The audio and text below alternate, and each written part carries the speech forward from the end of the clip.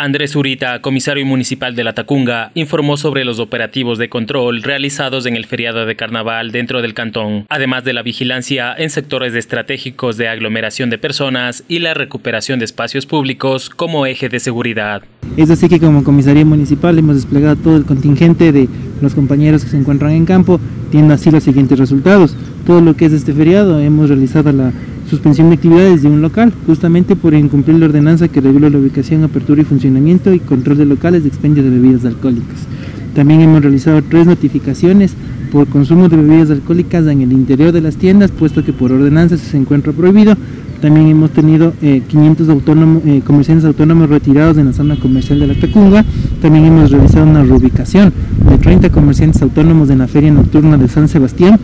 Hemos también eh, retirado 20 litros de licor artesanal, así como hemos realizado control al interior de las unidades educativas en los días jueves y viernes que fueron de carnaval del, pasado anterior y la cooperación en operativos de control interinstitucional conjuntamente con Comisaría Nacional e Intendencia y Policía también. Se evidenció además el incremento de comerciantes que realizaban ventas de diferentes productos y mercadería por el feriado de Carnaval y el día de San Valentín, por lo cual se desarrollaron operativos de control en conjunto con diferentes direcciones municipales. Se identificó un incremento de, significativo de comerciantes propios del cantón y de zonas aledañas así como también de comerciantes que vienen de, de, otros, de otros lugares que son cercanos a la ciudad de La Tacuca. Se realizó un, control, es, decir, para que se recuperen los espacios públicos, para que puedan ejercer la venta de manera ordenada, es lo que se realizó. También se, se pudo realizar el retiro de los comerciantes autónomos que se encontraban obstaculizando los pasos peatonales. Ayer también que fue un día como el Día del Amor y la Amistad, también